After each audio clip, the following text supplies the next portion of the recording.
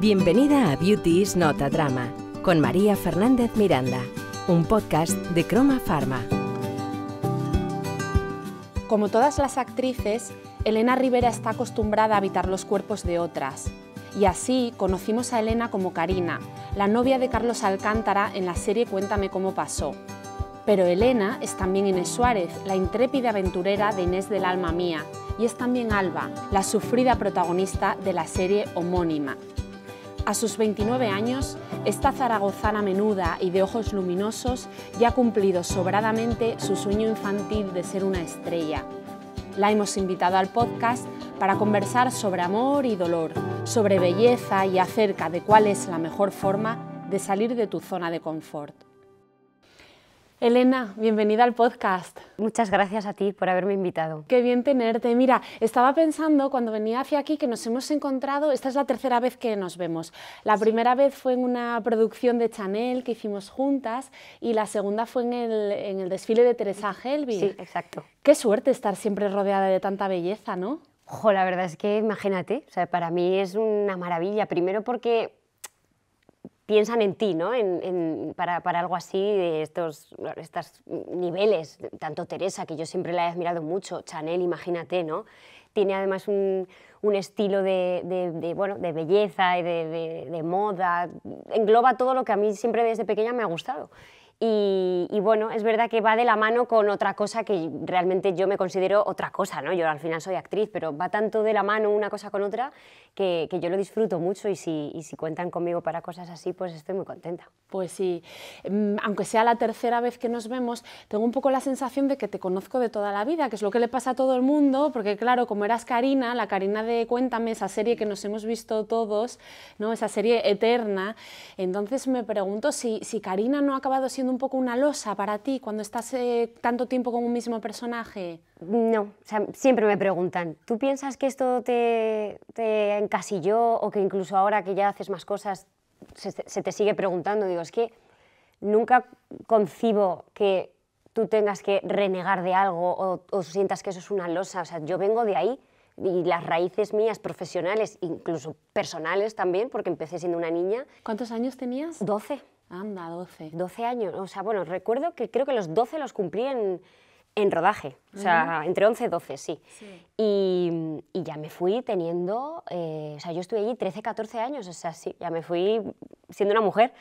Y, y para mí mm, no es para nada una losa, o sea, yo Mm, siento que esa fue mi, escuela donde aprendí una profesión, porque yo entré pensando, bueno, pues yo aquí entro a jugar, me lo paso bien, mis prioridades son los estudios, en mi casa siempre me han inculcado eso, la normalidad, que luego este sector, cuando ya pasan años y lo vas conociendo, me gusta reforzar eso, ¿no? Y yo estoy orgullosa de, ir mostrando esa normalidad, porque luego hay cosas que vas viendo que parece que es hasta lo anormal, ¿no? El ser, el dar ese punto de normalidad. Es anormal ser normal en esta profesión. Poco sí, ¿no? Entonces, bueno, pues yo ese punto de, estar muy orgullosa de haber participado, bueno, de, haber pertenecido a, lo, que, lo que es Cuéntame cómo pasó, ¿no? que es una serie ya que ha pasado la historia de, de nuestro país, para mí es de estar siempre muy agradecida.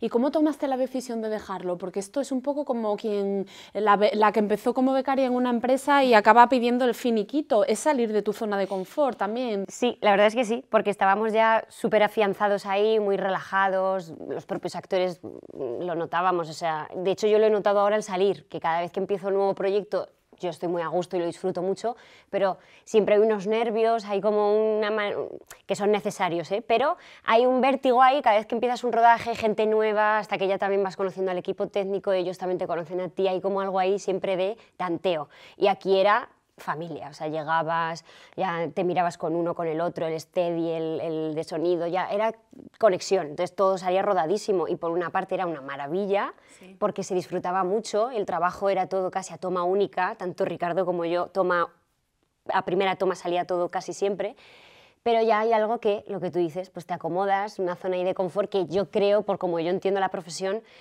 va un poco a la contra. Al final, un actor, una actriz le gusta siempre esa adrenalina, ese vértigo necesario de lanzarte ahí al vacío y ver qué pasa. ¿no? Entonces creo que se necesitaba ya bueno, pues mm, decir hasta aquí es esta etapa, ha sido maravillosa y para mí ha sido mi columna vertebral, pero tengo que volar ¿no? y hacer otras cosas. Claro. ¿Y cómo es tu relación con Ricardo? Porque dicen que nunca se olvida el primer novio, si es de la ficción me imagino que será un poco igual, ¿no?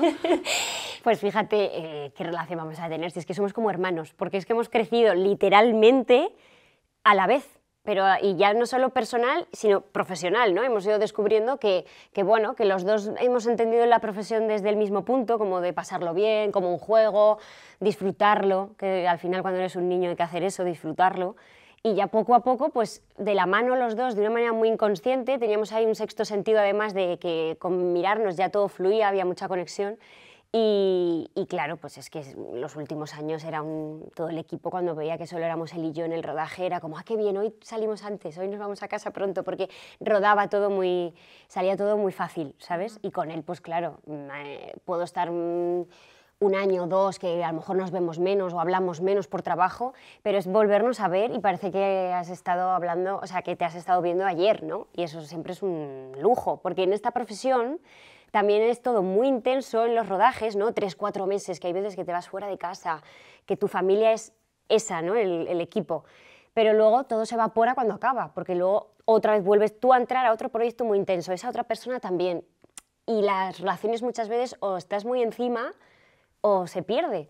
Pero con, con, Ricardo en este caso es que es algo, pues lo que decimos, ¿no? Único. O sea, ¿cuándo puedes decir tú que en un proyecto has estado creciendo 13 años de la mano con la otra persona? Eso es único. Sí, es una pasada, es una experiencia, la verdad, que ha tenido que ser eh, especial, pero dices que empezaste a los 12 años, pero tu gusanillo de ser artista viene de antes, porque es que yo he descubierto en Google un vídeo en el que apareces cantando, interpretando una canción de Paloma San, Basilio, que eras enana, vamos, es que no tenías dientes directamente. Tenía seis años. Seis años tenías. ¿Tú cómo, cómo recuerdas, o sea, de dónde te viene a ti esta eh, no sé, hay artistas en tu familia, ¿de, dónde te sale este...? No, no, o sea, nadie se dedica a esto, de hecho la manera de ser de toda mi familia me lo dicen, yo no sé de dónde te vienes, si es que, a ver, siempre digo que a mi abuela siempre, siempre ha tenido ese gusanillo desde pequeña de, bueno, pues de tocar el piano. Ella no lo toca, ¿eh? pero que siempre dice que le hubiera gustado tocarlo.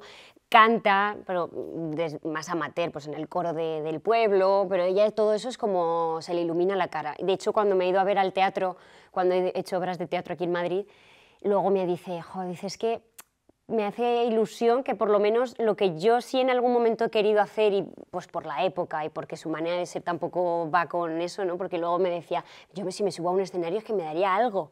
Y tú, sin embargo, sí tienes esa cosa de que, hasta te motiva, ¿no? Cuando hay público y ves que todo es más difícil, a mí eso me, me sube la, la adrenalina. Y, creo que me viene un poco de ahí, que mi abuela, bueno, pues su, época no se lo puso, bueno, tampoco estaba bien visto antes, ¿no? Dedicarte a la interpretación y a ser artista, pero mi abuela tiene algo ahí desde pequeñita como que siempre le ha gustado y creo que me puede venir de ahí, porque al final nadie, nadie se dedica a esto y, no, no sé, pues yo siempre he sentido desde muy pequeña que de alguna manera u otra este era mi lugar, porque era con lo que más feliz me sentía. Lo tenías clarísimo. y esa niña desdentada a la que luego vimos en Cuéntame, fíjate cómo acaba, vamos, cómo ha acabado o cómo ha empezado, porque con lo joven que eres tienes muchísima carrera por delante, pero ya has cumplido grandes hitos. Estás ahora con, eh, bueno, se está emitiendo Alba, mm. esta serie que lo está petando, está siendo una de las más vistas de la televisión, ¿no? Creo que, que, os está yendo genial. Está fenomenal, o sea, un exitazo, la sí, pero, pero eso, esa niña desdentada que,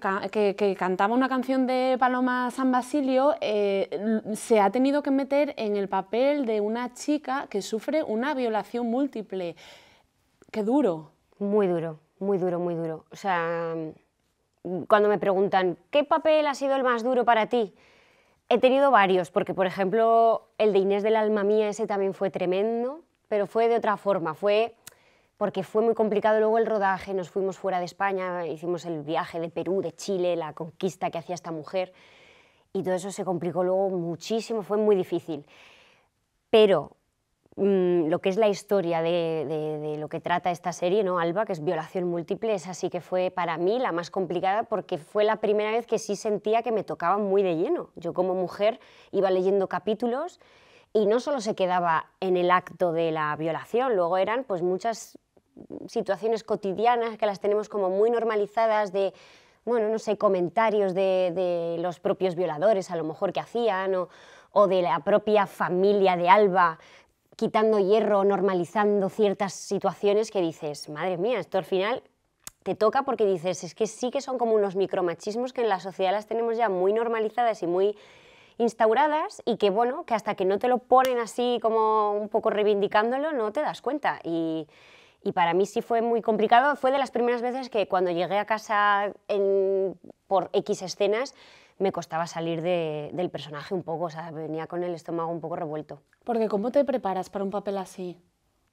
Bueno, sobre todo sabiendo que, que si ya sabes cómo lo vamos a contar, que eso para mí era muy importante. Primero leí guiones, hablé también con los directores porque dijo, bueno, es algo tan tremendo y y al final todo va a girar en torno a mi personaje y en cierto modo es una responsabilidad que va a caer sobre mis hombros, es parte de todo el equipo, por supuesto, pero bueno, no deja de ser que todo es en torno a, ese personaje, a Alba, ¿no? Y digo, bueno, vamos a ver cómo, sobre todo cómo se va a mostrar y de qué manera, porque me daba mucho miedo que se quedara a medias tintas, que pareciese algo morboso que no, no, o sea, si se cuenta hay que ir hasta el final. Tiene ese riesgo, ¿no? Del morbo, de la banalización. Sí, o de victimizar más de lo que de lo que realmente sí ya es la víctima, ¿no? Pero como también me daba miedo eso de que no pareciese solamente la pobrecita, había algo ahí que digo, bueno, pues que son, estamos ahí en un punto muy fino, muy delicado. Sí. Pero una vez vi todo, vi también todos los actores que también ellos tenían un papelazo súper complicado, los, chicos que hacen de, violadores. Pues bueno, todos fuimos de la mano de esto hay que contarlo así, vamos de cabeza y, sin miedo. Me acuerdo que hace poco dijo Álvaro Rico, un, compañero de la serie, dice, es que yo cuando ya vi que tú también lo tenías tan claro, dije, venga, porque o, o la actriz es un animal como, como te estoy viendo que eres, o es que si no también es eso, ¿no? Ellos mismos también tienen que, coger esas riendas del otro lado que parece que no gusta tanto. ¿no? bueno, el, actor tiene también que hacer el papel del malo, del violador, para poder contar esta historia. Y creo que era primordial eso, eh, tener esa confianza entre todos, tirar para adelante y saber que, esto había que contarlo hasta el final, sin, sin miedo y sin, y sin, medias tintas, pero claro, luego es cierto que para mí no fue muy, no fue muy fácil el después, ¿no? El, el, ese proceso de que yo iba viendo que como yo encima como Elena tengo una manera de involucrarme en los proyectos que algunas veces tengo que decir relativiza, porque me meto al 200%, dejo la piel, o sea, para mí es como lo más importante es ese, esa historia, ese personaje y, y ser muy fiel a lo que creo que hay que contar. Y aquí, pues claro, me involucré mucho más y luego acabó el rodaje que yo delgacé muchísimo, sí, sí, me quedé exhausta, exhausta, pero creo que al final era lo que había que hacer, porque es un tema tan complicado, tan delicado y que ahora, fíjate, aún estando tan concienciada grabándolo, he sido más consciente de, lo de la importancia del tema ahora que se está emitiendo, porque he recibido mensajes de chicas, de, que te dicen que han pasado por que han pasado por esto o por algo parecido o situaciones similares y tal, y que gracias a la serie les ha hecho replantearse las cosas, de, por lo menos coger esa fuerza que necesitaban para contarlo o para denunciarlo. O sea que Claro, porque antes hablabas de los eh, micromachismos, por ejemplo. Em, yo creo que estamos en un momento en el que tenemos como un mogollón en la cabeza, porque por un lado hay cosas que están como aceptadas, que no deberían estar aceptadas, pero por otro lado estamos viviendo una corriente feminista, feminista a veces excesivamente radical, que la mujer parece también que es que somos víctimas de todo y que no tenemos ningún tipo de derecho en un país como España, ¿no? y que, que, que todo nos hace daño. Eh, ¿cuál, ¿Cuál sería el punto Mm, el punto medio para que todas ejerzamos un feminismo que nos ayude? Ya, es que sí, es que es complicado porque es lo que tú dices, hay un punto también muy susceptible, ¿no? Como de que parece que a la mínima ya, oh, qué dolor he sentido con...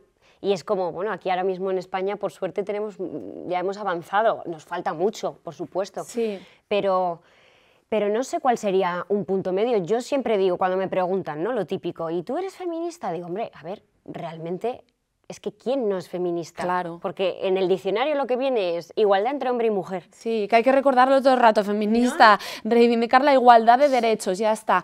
¿Quién no es feminista? Todas somos feministas, pero ¿hasta dónde llevamos eso luego? Por eso, entonces no sé, a mí me, siempre intento pensar, creo, para mí el feminismo es que una mujer se sienta libre dentro de también respetando al otro, pero de, vivir su vida sin que la juzguen y sin que, porque también vivimos ahora esta cosa de, ha pasado ahora con, con, con lo de Eurovisión, la chica que, que va a ir a, representarnos. en el Terrero se llama. Que, que no, que siempre es como si baila de esta manera, si baila de la otra, cómo viste, cómo no viste, cómo... Pues oye, mm, creo que, que no, es que nos metemos mucha caña, nos juzgamos mucho yo creo que cada una tiene que vivir su vida como, como quiera, respetando la libertad, por supuesto, de cada una, pero, pero que cada una, y que tampoco, porque también esta es otra cosa, tampoco parece que porque a mí me guste ponerme un tacón o pintarme el labio y ir monísima, soy menos feminista que la que vean deportivas y que también hay un poco eso, ¿no? Como parece que, que, el feminismo es más mm, reivindicarlo desde mm, no me depilo, pues no, yo soy feminista, pero también digo que me encanta eh, cuidarme, verme bien, maquillarme y ponerme un tacón y monísima de la muerte. Es que una, una cosa es la el feminismo y otra la feminidad, que no están reñidos, ¿no? Exacto. Entonces yo ese punto medio no, no, no sé muy bien cuál sería. Yo creo que al final es, es respetarnos de cada una, que, que, viva su vida como quiera y esté a gusto y sin que nos, nos ataquemos ni, ni, nos juzguemos. Mm. Has hecho, hemos hablado de este papel durísimo de Alba y también has, te has referido antes al, al papel de Inés del Alma Mía, que interpretas a, a, una española que participó en la expedición de Pedro de Valdivia. Em, eso también tiene su jugo, ¿no? La, la vida de esta aventurera también ahora que que, parece que una mujer como tú, pues que hace un montón de cosas y te, si nos comparamos con este tipo de mujeres, que, Para que veas. Qué valor, ¿no? Y que... Increíble. Pues mira, esa mujer a mí me, enseñó y me demostró que, que, que, bueno, que ella ya era una feminista por bandera. O sea, ella era la primera mujer que conquistó Santiago de Chile, ella sola en esa época, una mujer cruzar el charco que no, no podía ni viajar ni a no ser que te disfrazaras de hombre, que fue lo que hizo, ¿no? Y, ella era luego un militar, no tuvo problema cuando ya hubo los enfrentamientos allí en, Santiago. Se encontraba sola y, que no, porque creo que hay un momento en la historia, lo cuentan, que Pedro de Valdivia sale a una expedición y ella, pues bueno, se encuentran que, los matan, ¿no? Y ya por supervivencia coge una, una espada y, y corta cabezas, o sea, y dices, pero madre mía, qué, fuerza, qué valentía, qué manera de, de qué, adelantada su tiempo, ¿no? Qué mujer, justo eso de, de, vivir la vida que ella quería, aunque la juzgaban de, pues eso, en esa época eran mal, súper mal vistas las mujeres que, que, estaban con un hombre casado, porque Pedro de Valdivia era, era un hombre casado. no me extraña que acabara cortando cabezas la, la pobre, imagínate. y la trataban de bruja, la trataban de, de prostituta, o sea, pero daba igual, ella estaba ahí dando lecciones que al final luego la, valoran como, como, lo que fue, ¿no? Una, una grande de, de, este país que fíjate, luego han pasado un montón de años y yo si no es por esta serie y por la novela de Isabel Allende, yo no sabía de que Inés Suárez era, era real, ¿no? Era un, Yo tampoco conocía el, el, personaje de Inés Suárez, la verdad que no. Entonces ahí también se demuestra que siempre la mujer ha sido la sombra, ¿no? En, los libros siempre es el hombre, el, el, militar, el conquistador, siempre es el hombre. Y ellas pues era la, la sombra totalmente de ellos. ¿Tú prefieres contar historias de dolor o historias de amor? Yo creo que ambas, ¿eh?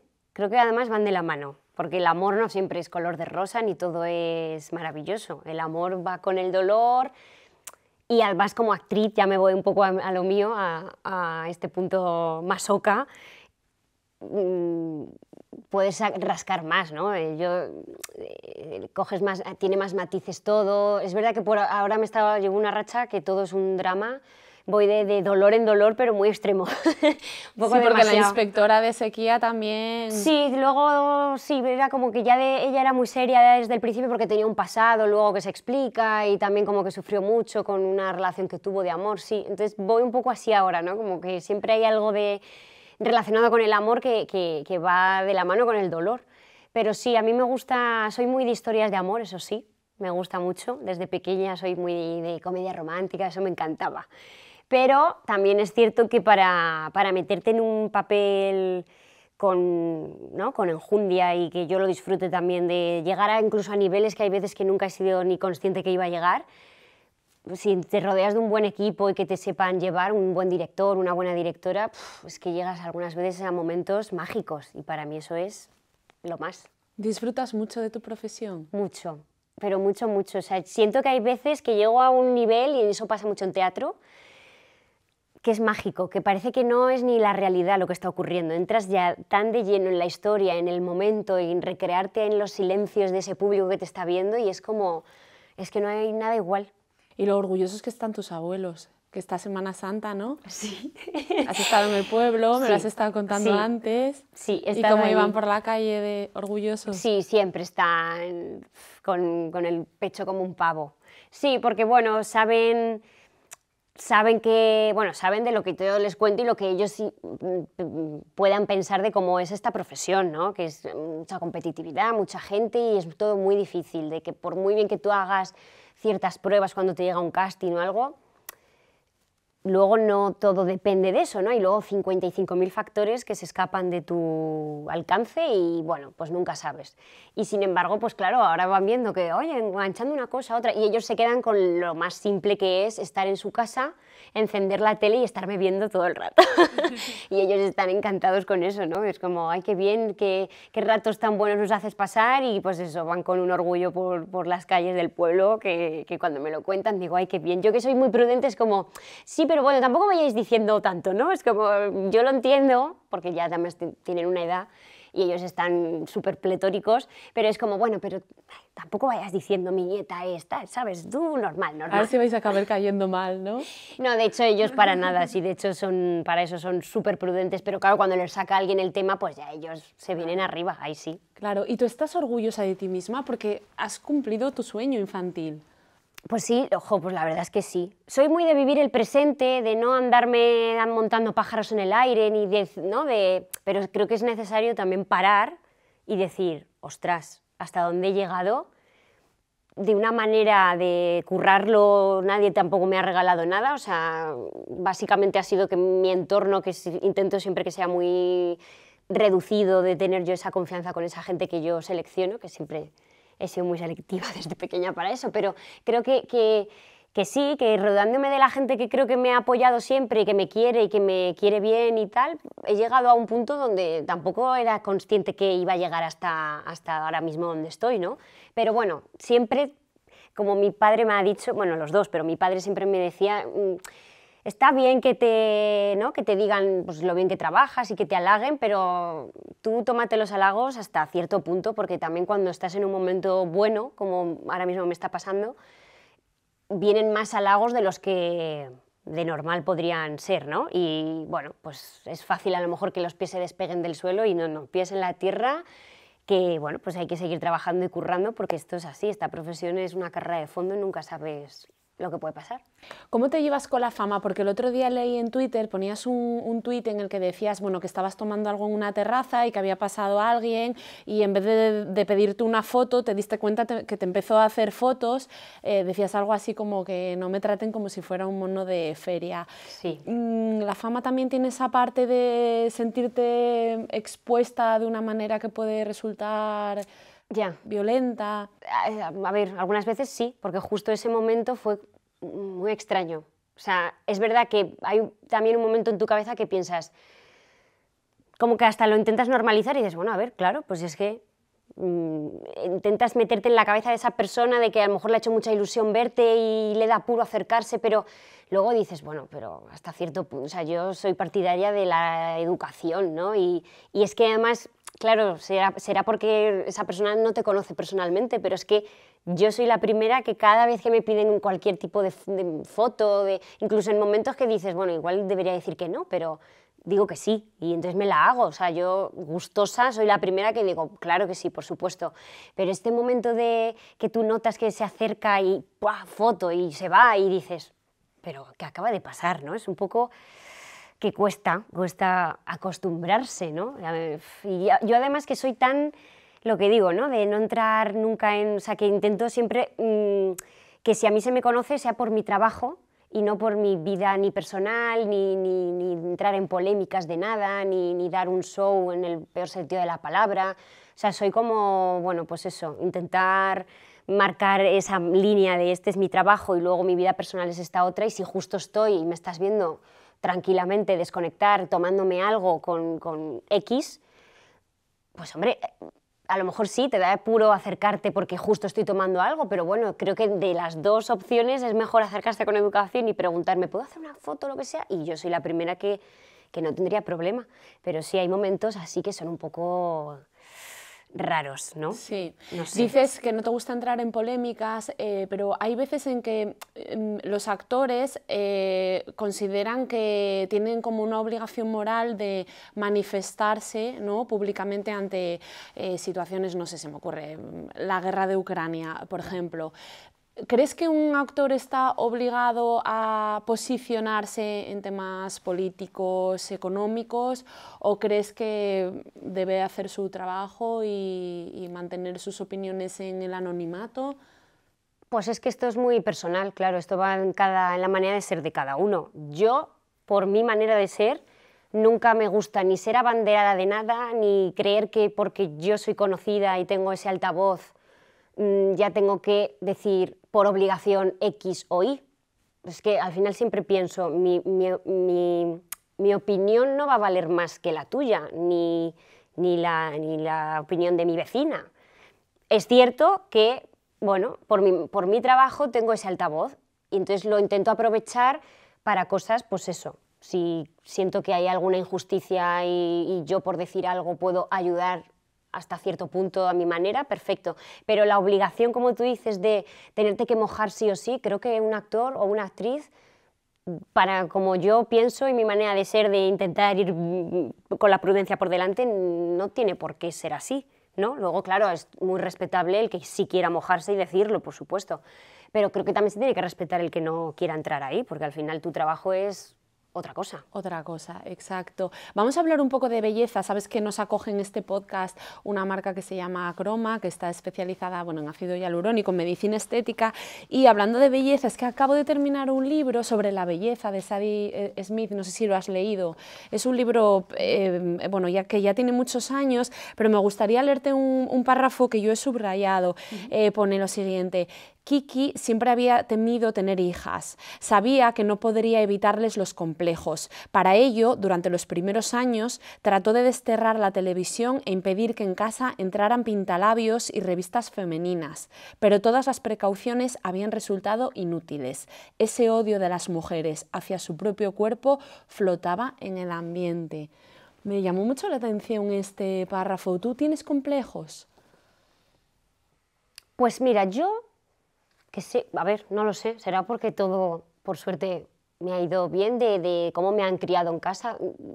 No sé si será un poco por la normalidad que siempre se le ha dado a todo, ¿no? De, no, ni que haya habido presión, porque además lo piensas y dices, yo empecé tan pequeña en algo donde también, te guste o no, está muy marcado el físico, que, a lo mejor si en casa también hubiera tenido como una presión de, no, tú porque también hay esta cosa de patrones establecidos, ¿no? Y más ahora, ahora yo creo que con las redes sociales se ha remarcado eso más, de que parece que todas las mujeres somos igual, un poco clones, ¿no? De, A la hora de, de, ponerte a hacer la foto, de posturear, de ciertas cosas. Los filtros. El filtro, exacto.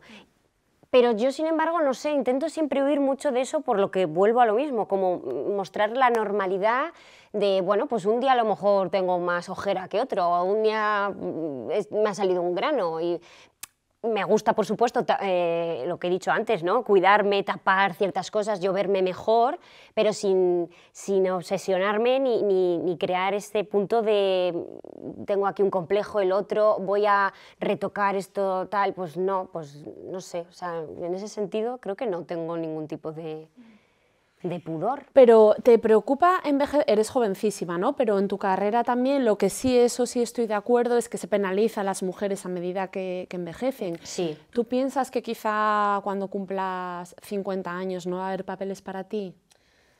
Pues hombre, faltarán 20 años y yo espero que, las cosas conforme vamos yendo vayan, vayan cambiando, que por ahora parece ser que vamos por un buen camino, pero falta un montón. Porque a mí me preguntan, ¿qué personaje es un referente en tu profesión, por ejemplo? Y se me vienen más de hombres que de mujeres, porque no hay tantos de, mujeres. Ahora sí, ¿eh? ahora ya empieza a ver, pero poco a poco. Entonces, espero que de aquí a 20 años la cosa ya esté más normalizada y se pueda ver como que una mujer también tiene cosas que contar con 50 años. No siempre va a ser la mujer de, ¿no? Ni el florero de, o la palmera de. Pero sé que eso está ahí, sé que eso existe, o sea, sé que cuando tú ya pasas ciertas etapas y, o, incluso ya te relacionan con que ya has tenido un hijo, por ejemplo, ya hay un punto donde eso ya cambia, ya no te ven como la chica más mona ni ya a lo mejor ya vas a pasar madre de, ¿no? Entonces, creo que no, creo que las mujeres con una edad ya más madura tienen cosas que contar y muy interesantes, claro que sí. O sea, que espero que cuando ya sea yo más mayor también pueda seguir contando cosas. Bueno, creo que te gusta mucho, dices que tienes muchos referentes hombres, pero yo he leído por ahí que te encanta Meryl Streep. Me encanta. O sea que ahí también tienes un buen referente de, para envejecer, para no, actuar. Mira, y me gusta mucho, mucho, mucho Kate Winslet. Kate Winslet. Porque también tiene esta cosa de, ¿no? Y además normalizar sí. lo que estábamos también hablando de la belleza, de que tú tienes arrugas, que un día te levantas con mala cara, que... Y con la última serie que ha hecho ahora en HBO, creo que la que, que estaba, mm, ella remarcaba mucho eso de que ni le pusieran Photoshop en las fotos de promoción, de que si se le tenía que ver aquí una lorza, que, que se la dejaran, ¿no? Este punto de la mujer real, natural, y más en una circunstancia de su personaje que era también tremendo lo que le pasaba. Entonces, pues a mí todo eso me gusta mucho, como el coger esas cosas tan reales, tan normales de la vida. De todos modos, tienes un plan B, quiero decir no te voy a, no voy a ser gafe, ¿no? Pero hay veces, ¿no? Que los artistas, muchos artistas piensan como en un plan B por si este camino eh, en algún momento se acaba. ¿Qué te gustaría hacer? Es que yo tengo la carrera de magisterio infantil. Ah. Sí. La terminé además en el confinamiento, me faltaba ya el trabajo de fin de grado, simplemente me faltaba eso y dije, pues venga, me, me meto de lleno, en el, es como la tesis final. Y, nada, ya sí, ya tengo el título, tengo todo, ahí está, ahí está. Tampoco empecé como opción B, ¿eh? o sea, no, no la empecé como, ay, por si acaso no me sale. Siempre me ha gustado también y dije, ¿por qué no poder hacer las dos cosas? A mi ritmo, poco a poco, eso sí, pero ¿por qué no? Es que al final, cuando algunas veces me dicen, ah, pero esto es por, ¿no? por si no te sale el otro, digo, hombre, por una parte sí, pero yo no la empecé la carrera por, solo por el miedo a que si no me salía lo de actriz, era porque creo que como persona también te aporta muchas cosas estudiar. La formación. Claro, primero una formación básica y luego el salir de esta burbuja de lo que es nuestro sector, que era muy bonito y era muy, bueno, pues está fenomenal, ¿no? Un día estás grabando con María Galeana, Juan Echanove, y ese mismo día me llevan directa corriendo a un examen que tengo que hacer que no llego con gente que está también, que es curranta, que es y te tienes que ¿no? compaginar con esa otra persona sus horarios de trabajo porque hay que hacer un trabajo en grupo de no sé qué. O sea, es como me normalizaba un poco las cosas, de decir, bueno, es que hay, hay más vida aparte de solamente la profesión de actriz y el, ir a eventos y estas cosas, ¿no? En esos eventos en los que nos encontramos tú y yo. Sí, exactamente, exactamente. Hemos hablado mucho de tus series, pero también has hecho teatro, has hecho tantas cosas que no caben en este podcast, pero en concreto hiciste una obra que se titulaba El arte de la entrevista. Y hablando de entrevistas, ¿has echado de menos alguna pregunta en esta entrevista?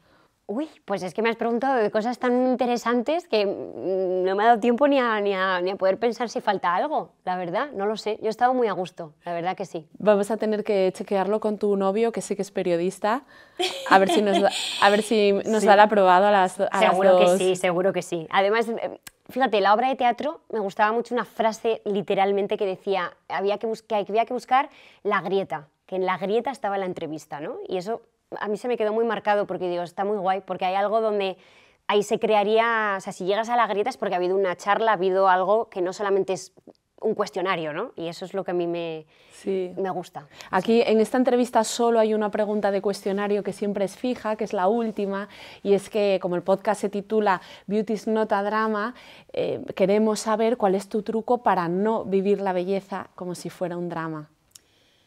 Mi truco, pues mira, mi truco creo que es, como siempre digo, mm, rodearte de toda la gente que pienses que, te va a querer bien, que, vas a estar a gusto, que tengas esa confianza con toda esa gente, que sabes que, van a estar ahí para lo bueno, para lo malo, porque cualquier cosa, ya sea, ¿no? Ya sea en tu profesión personalmente y, y, bueno, y en la belleza, todo va a salir más sencillo, más rodado, mejor, sin ningún tipo de drama. O sea, creo que al final eso es mucho lo que, lo que yo intento coger en la vida. Elena, pues ha sido un placer, no me extraña que tus abuelos estén tan orgullosos de ti, celebro de verdad eh, tus éxitos y doy fe de que tú no, no, dejas de tener los pies en el suelo. Ojalá que nos sigamos encontrando.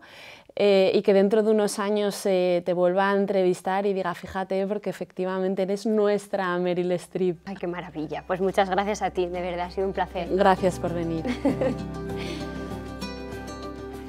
Si te ha gustado este episodio del podcast, recuerda que cada mes tendremos como invitada a una mujer inspiradora. El próximo 4 de julio podrás escuchar una nueva entrevista. Gracias por acompañarnos y no te olvides de recomendarnos.